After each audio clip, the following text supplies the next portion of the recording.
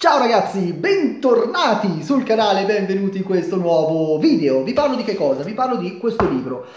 Uh, recensioni di solito non le faccio singole, anche se spesso mi, mi, piacerebbe farle su alcuni libri, soprattutto mi viene la voglia di, di farle.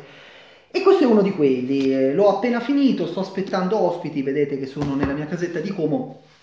E quindi niente, ho detto, mentre aspettiamo gli ospiti, facciamola questa recensione perché eh, merita. Allora, il libro è eh, Christmas Soros, un dinosauro per Natale di Tom Fletcher.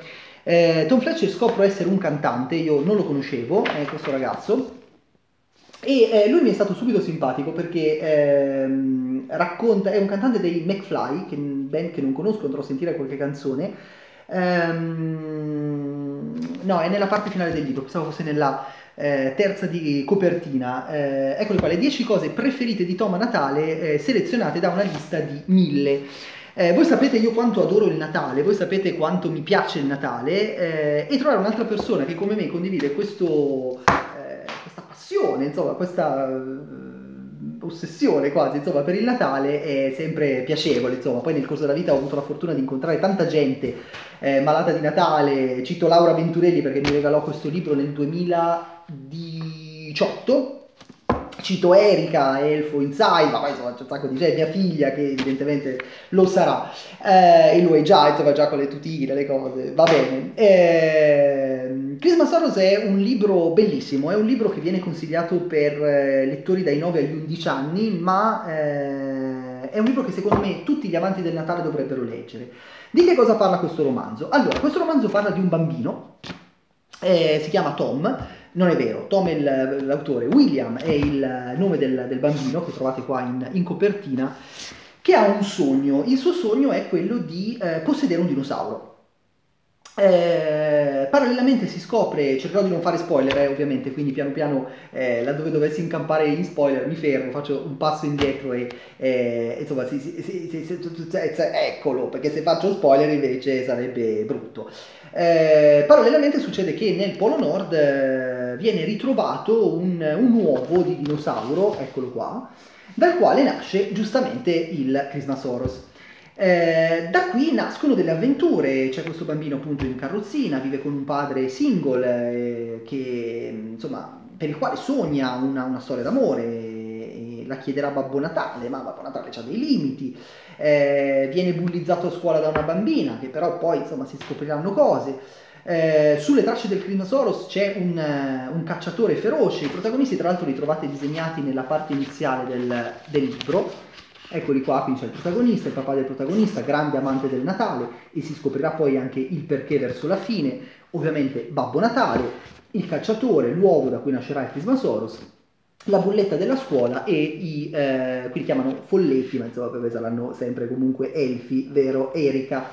Ehm, è un libro bellissimo, è un libro innanzitutto, eh, è un libro illustrato, eh, spesso, a, allora, a parte qui nelle parti diciamo eh, iniziali, nella parte superiore di ogni capitolo ci sono sempre delle, eh, delle illustrazioni differenti, ma le illustrazioni sono proprio nel corso del, eh, di tutto il romanzo, cerco di trovare eh, immagini che non creino particolare eh, spoiler e la cosa bella è che spesso e volentieri interagiscono con il testo, per esempio in questo caso non c'è un, un'immagine solo su una pa- pagina ma viene eh, no, sbordata sulle, sulle, due pagine. Oppure per esempio ci sono ehm, dei disegni che iniziano in una pagina e proseguono nella pagina accanto, eh, immagini bellissime, disegni stupendi eh, fatti credo a matita, insomma meravigliosi di, questi, eh, di tutti i protagonisti ai quali non potreste, non, non potete fare altro che affezionarvi, insomma vi spiega anche come fa Babbo Natale a passare dai cammini.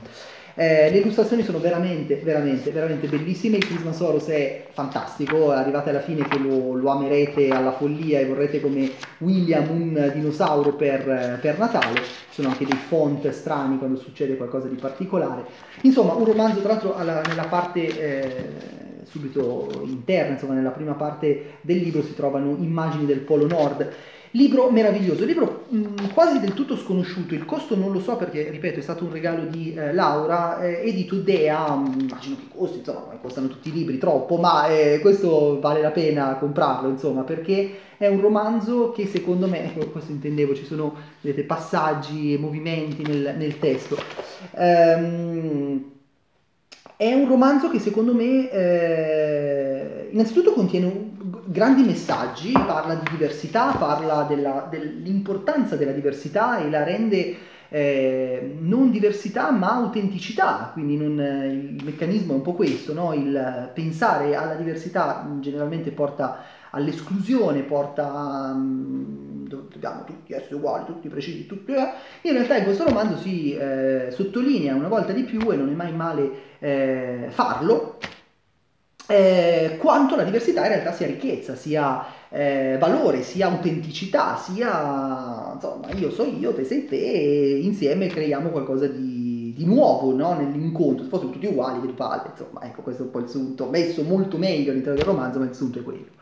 Eh, è un romanzo che va letto, io poi ne parlavo su Instagram eh, con, con, alcune persone che vi chiedevano notizie in merito a questo libro e eh, molte di quelle persone erano o mamme o papà.